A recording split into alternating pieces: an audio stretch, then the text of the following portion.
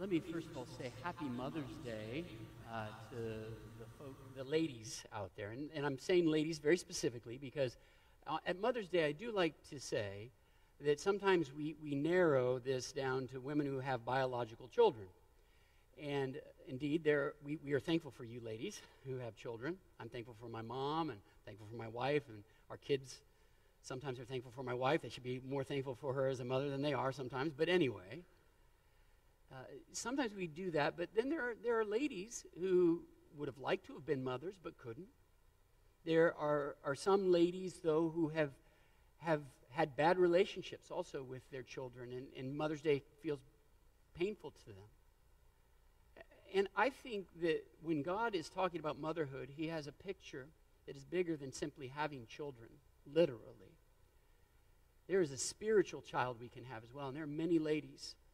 All, all Christian women are called to cultivate spiritual children, raise spiritual children, to take young men, young women, care for them, love them, nurture them in the ways of God, and to be a mother in that way. So, ladies, um, we are thankful for you, no matter if you're, you're a mother of children or you have spiritual children.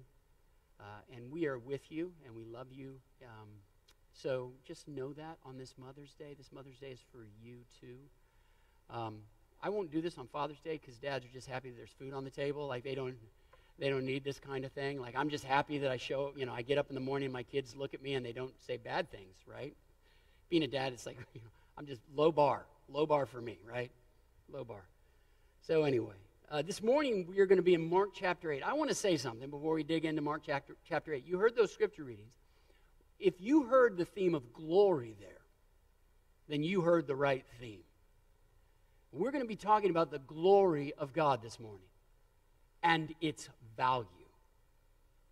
And I think that is hard for us. Sometimes we have to stretch our minds to think about the glory of God and its value. But that's what we're going to be doing. So, so tune in with me here and think about that even as I'm about to read the passage of Scripture we'll be digging into this morning. Mark chapter 8, beginning in verse 34. Hear the word of God. Then Jesus called the crowd to him along with his disciples and said, Whoever wants to be my disciple must deny themselves and take up their cross and follow me. For whoever wants to save their life will lose it. But whoever loses their life for me and for the gospel will save it. What good is it for someone to gain the whole world yet forfeit their soul? Or what can anyone give in exchange for their soul? If anyone is ashamed of me and my words in this adulterous and sinful generation, the Son of Man will be ashamed of them when he comes in his Father's glory with the holy angels. And Jesus said to them, Truly, I tell you, some who are standing here will not taste death before they see that the kingdom of God has come with power. This is the word of God. Thanks be to God for it. Will you pray with me? Glorious Heavenly Father we thank you for the glory that you have shown us in the person and work of Jesus Christ. It is your glory we see there. And we thank you for these lessons that Jesus teaches us about discipleship, what it means to follow him. This is an economics lesson here. What is something worth? And what is the thing of most value in the whole world? May we be a people who hear these words and are taught these lessons and recognize the infinite value of Jesus Christ and relationship with Him. It is in His name that we pray. Amen. Well, here Jesus begins to address his disciples and he says the crowd, so his would be disciples. And he's talking about the costs as well as the benefits of following him. There are costs to following Jesus, there are also benefits. And so we want to understand what he's saying here to us today. in the 21st century. First, Jesus warns that there will be troubles. So, first, he talks about the costs troubles, suffering, difficulties. There's a cross that we have to pick up when we follow Jesus. That's the first thing. Second, Jesus promises that there will be treasures as well. So while there are troubles, there are also treasures. And Jesus is saying, look at these two things. Decide which is of greater value or loss. Is the loss of the troubles so great that you wouldn't want the treasures? So Jesus is saying, think about this, weigh the value of these things. And then finally, third, before he closes, Jesus gives us a teaser. Now, you think about those movie trailers that you see for upcoming movies, that's something like what Jesus is doing here. He, he gives us a teaser of something that is coming. And it is a gracious act. It is a caring and loving act for him to give this teaser at the end, and we'll, we'll talk about that last. But let's start with the troubles, verse 34 and verse 35 of today's passage. So think back to last week and remember Jeremy's first ever sermon. It's his first sermon with us, but the first sermon he's ever preached. And there, in that sermon, he showed us that Jesus is teaching and asking questions of his disciples, and Peter, he gets something perfectly right. And then in the very next moment, Peter gets something absolutely wrong. He confesses, Jesus, you are the Messiah. That's the right answer. And then immediately he goes, No, but Jesus, you can't be the Messiah in that way. In a sense, if you're putting it in a nutshell, he says, Yes, Lord. And then immediately turns around and says, No, Lord. And there's an irony in that, right? No and Lord should never go together. Lord indicates master. So when does the servant tell the master, No, Lord? Absolutely not, Lord. So that's what we saw in Peter. And we got to ask ourselves why did Peter turn so quickly on Jesus? In one moment saying yes, and the next moment saying no. And the short answer to that is suffering.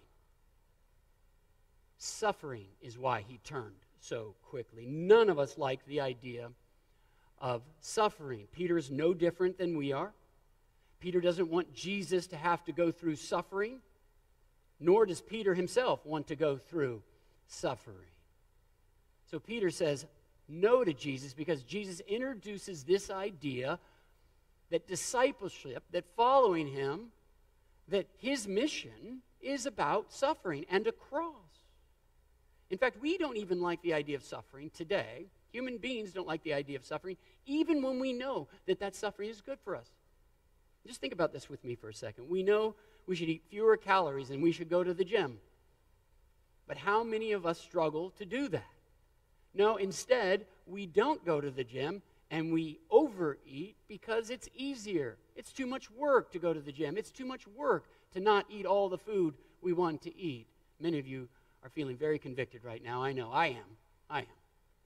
We know we should study for a test or we should prepare that presentation for work but we procrastinate. We put it off because those things entail labor. And so if we can put it off till the next day, then we don't have to go through that pain today. Even though it's good for us to do it, we don't do it. We know we should make regular appointments with the dentist. But we really don't like the dentist because the dentist pulls out a metal hook and starts scraping at our teeth, and our gums hurt. And so what we do is we're like, I'm only going to see the dentist once a year. That's what I do. I, I found out that my insurance covers two dentist visits. And the lady was like, I can make another appointment for you in six months. You know what I said to her? I think once a year is enough for me. We know it's good for us, but we don't do it. Here's a true story about my brother in law. I'm not making this up. He's one of the smartest people that I know. He has a PhD in New Testament. He speaks multiple languages. He's a real Renaissance man, but he hates the dentist. Okay, so this is an elite level smart person. My sister has to make secretly dentist appointments for him, then lure him into the car under false pretenses, drive him in a casual way that doesn't give away where they're going to the dentist office and then kick him out and tell him he has to go in. I mean, seriously. Seriously. If that's not an indicator of human desire to avoid suffering, I don't know what is. Friends, while we might not like the idea of suffering, Jesus is clear about it. If we follow him, we will face rejection because he faced rejection. We will face suffering because he suffered. And we will even face death. For some of us, this means literally, and for all of us, if we're following Jesus, it means figurative death, right? We will have to put our own sinful desires to death daily. We will have to put our will to have everything the way that we want it under, beneath Jesus' will. We'll have to put those things to death. All of us face death. All of us face suffering if we're following Jesus. Now, I am a pastor, so I notice things that people sometimes don't pay much attention to. And, you know, I get my, my pastor panties all in a wad because of these things. And really, you know, these things bother me. Uh, so, jewelry that people wear and even tattoos that people get sometimes bother me. Now, I'm not judging the jewelry. You know, you can wear jewelry. I'm not judging the tattoos. My wife runs a tattoo business, in fact. So I, I'm okay with these things. But you guys are all, nobody's going to pay any attention to anything else I say. Because, because they're like, his wife runs a tattoo business. Yeah. You'll find out more about that some other time. Anyway. What I'm concerned about is the odd choices of what they wear on their jewelry or what they wear in their tattoos. Like a gangster rapper who always wears a massive gold cross. What does that cross mean to him as he spits misogynistic stuff or brags about putting people in the ground? What does that cross mean? Or like a Hollywood gossip columnist who has a cross tattooed on her forearm. What does it mean to her that she has that cross when she brags and boasts and crowns the sexual affairs of the rich and famous? What does that cross mean? Does it mean anything? Friends, the cross wasn't a cool piece of swag for those in Jesus' day. People avoided the cross like the plague. They didn't want a cross because a cross was the most feared instrument of execution, of death, of suffering. It was an ugly thing. It was awful. So when Jesus here says, You got to pick up your cross in order to follow me, to be my disciple, people were not quickly going, That sounds great. I've always wanted a tattoo of a cross. I've always wanted to wear a cross around my neck. No, people were like, That is a terrible thing to say. They were singing in unison with Peter, No, Lord, never. Never that kind of suffering. Never that kind of laws. It was statements like these that made many decide not to follow Jesus. And it is still statements like these today that make many of us not follow Jesus, not call him Lord. We think that Jesus asks us to sacrifice too much when it comes to our sex lives.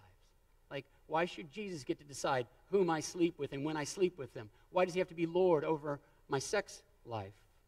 We think Jesus asks us to give up too much when it comes to how we spend our money. I, I made this money. This money is mine. Why should I give it to this person in need who didn't work as hard for me as, it, for, as I did or didn't work at all for it? We think Jesus asks us too much of our relationships. That guy hurt me. I do not like him, so why should I work towards reconciliation and forgiveness with that person? There are many troubles that come with following Jesus. And Jesus is telling us about them. He's saying, You're going to have to pick up your cross and follow me. You're going to have to bear those troubles if you want to follow me. He says, You guys will have to encounter suffering if you're to be my disciple. And this is a warning to us, and I just want to encourage every one of you to think about that. We do not want to be naive as we begin to follow Jesus. We must count the costs of discipleship, recognize the cross that we will bear, recognize that we must die to self and live for Christ. And that is not easy. There are many, many troubles when we follow Jesus. Yet there is more than trouble when we follow Jesus as well. There are treasures to be had. Verse 36, 37, and 38. I see treasures there. You may not see them, but we're going to look at it, and I think they're there. Just listen to what Jesus teaches his disciples next. And I, I believe this is, this is about value, this is about treasure, this is about ultimate worth. Jesus says, What good is it for someone to gain the whole world, yet forfeit their soul?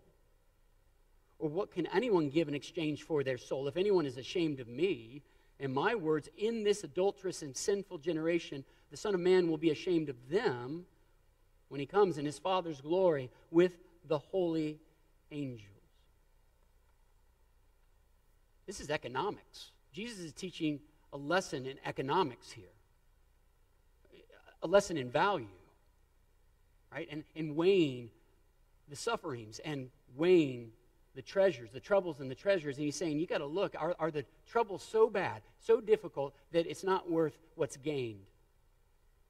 Jesus wants us to really consider this. He encourages us to see the real value of things, the big picture value of what's at stake here so that we can weigh whether or not to make a commitment to following him. He does not want naive disciples. He wants disciples who've counted the costs and recognized what is gained and recognize what is lost. And that's the lesson here. Now, you've probably read a novel. I encourage you to read novels. I was an English teacher. I love it when people read. But you for sure watched a movie in which the narrative revolved around someone who was trying to gain something, some goal they had, right? And so they're after this goal. Maybe it's uh, making an invention, you know, coming up with some new technological breakthrough. Maybe it's uh, getting a gold medal. Maybe it's making millions and billions of dollars, whatever it is, right? And you watch this individual going after their goal, and then they achieve it. And sometimes in these narratives, when they achieve what they've been after, they find out it's not all that it was cracked up to be. In fact, they find out that they have had to sacrifice something of much greater value in order to achieve the goal, in order to get what they thought would bring them happiness, and yet it has not brought them happiness. They have only suffering, sadness, emptiness, and they've lost something of far greater value. In the show Ted Lasso, there's an English football coach. Now, the English football coach, I got to explain this to you Americans here. That means soccer, okay? So there's an English football coach, a soccer coach, and uh, his name is Ted Lasso. And he has this little, you know, equipment guy, equipment manager, you know, the guy who fills up the water bottles and does all this stuff. And his name is Nate. Nobody cares about Nate, but Ted cares about Nate. And he invests in Nate, he respects Nate. And he finds out that Nate wants to coach. And Ted says, Well, help, coach. I, want to I wanna see you coach. And so Nate begins to coach. And it turns out Nate's a genius.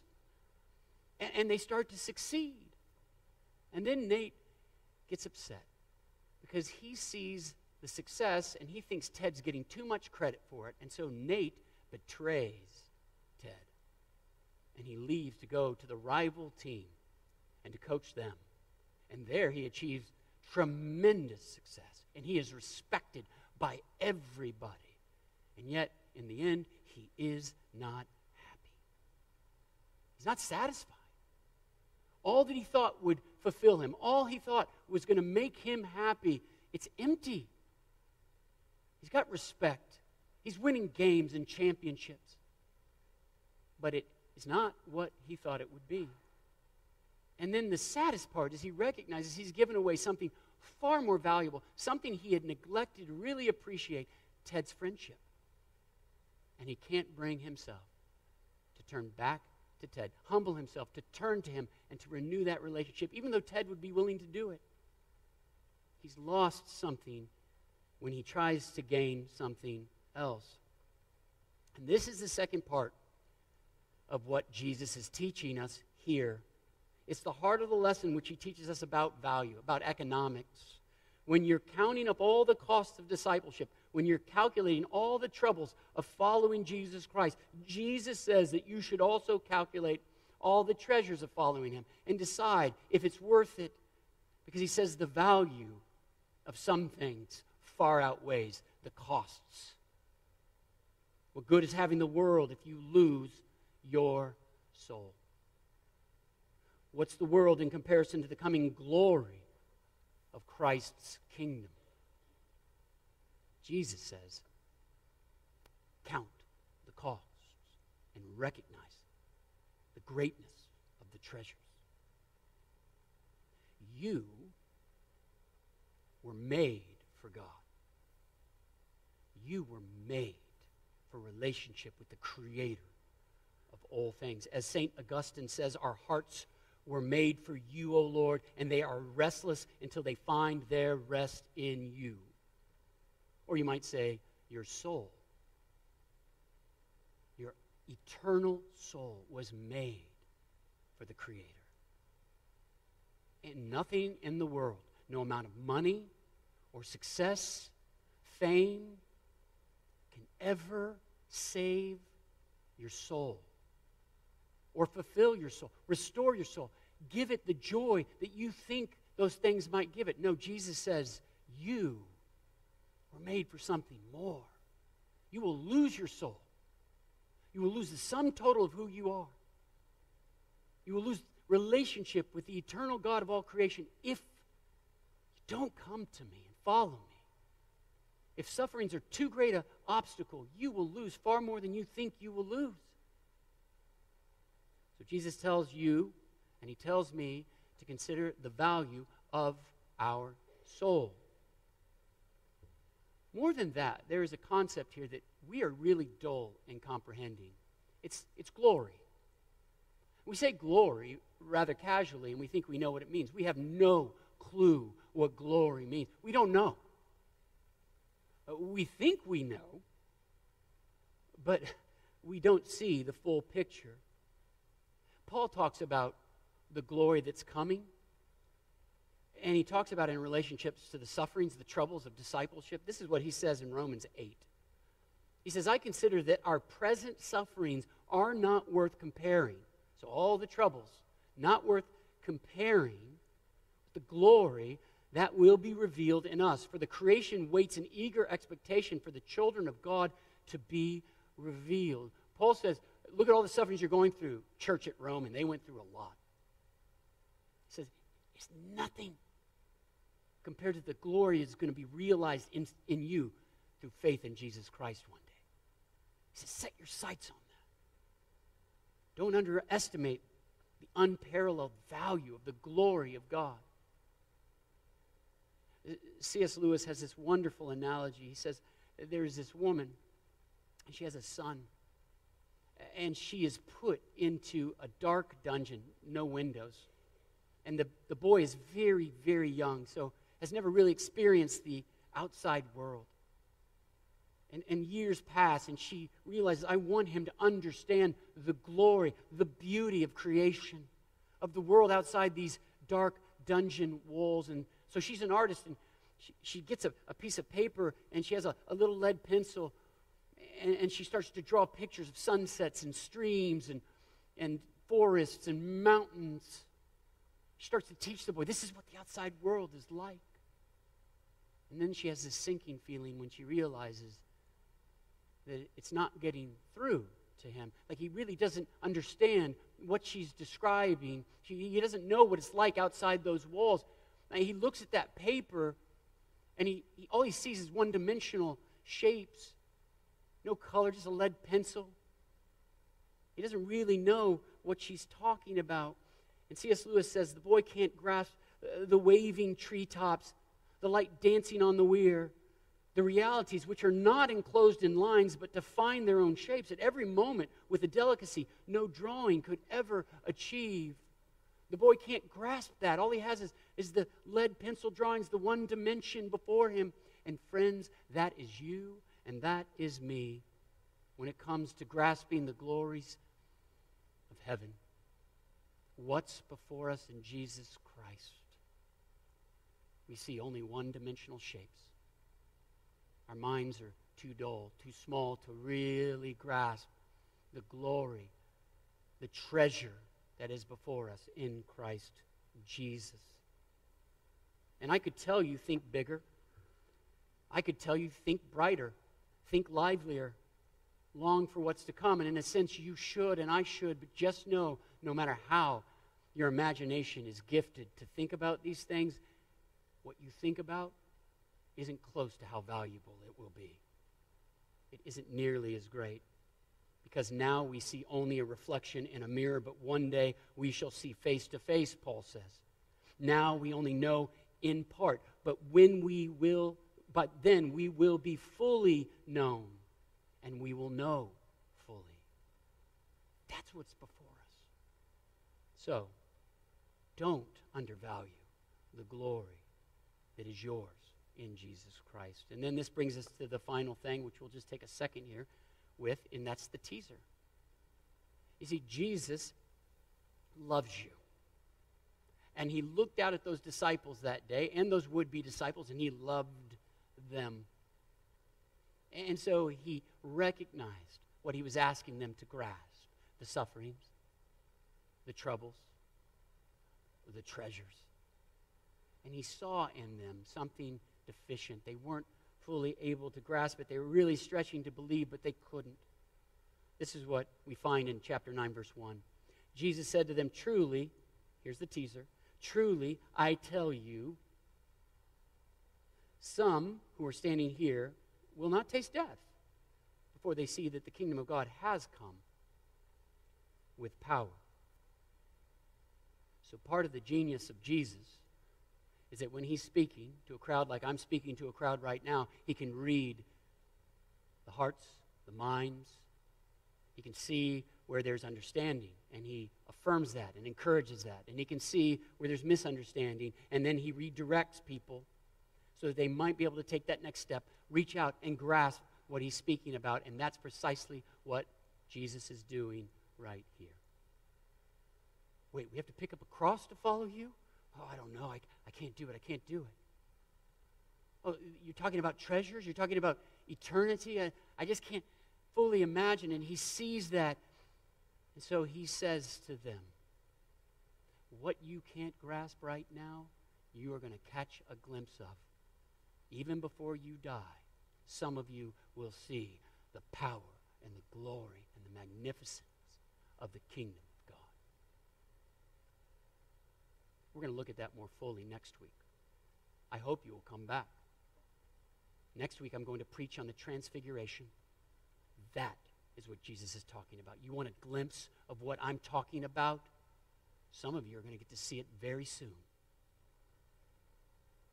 Friends, when you are stretching yourself, because the difficulties, the troubles, the sufferings of this life are a lot for you, they weigh heavy on you when you are stretching yourself because you want to believe and trust that the glories of the coming kingdom are better than anything you could have in this world.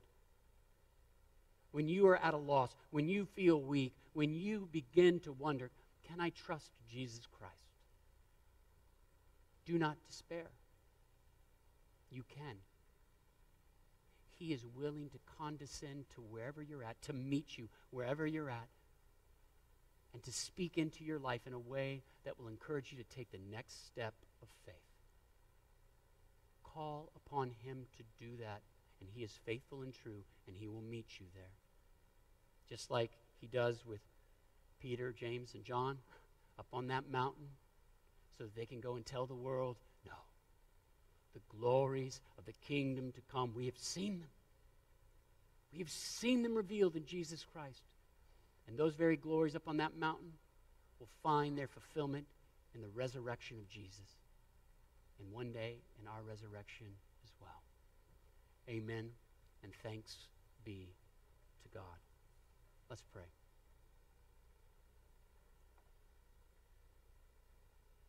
Heavenly Father, we, we as a people are frightened of troubles. We ask that you would encourage us, give us, give us courage as we face the difficulties of this fallen world life. And may we even celebrate that we face troubles for you and for your reputation and for your praise, because anything that's worth having is worth working for and even suffering for. And Heavenly Father, we also thank you that you are willing to meet us where we are, where we're at, and to help us along by your power, by your strength. Give us a vision and faith in the treasures of the kingdom of God, the treasure that is having relationship with the creator of the universe. May we truly long for those kinds of treasures and set the treasures that this life has to offer us aside as we pursue you and your kingdom. May we be that kind of people. And we thank you for this teaser here, too, and the lessons that we're going to learn next week in the sermon. It is in Christ's name that we thank you for all of this. Amen.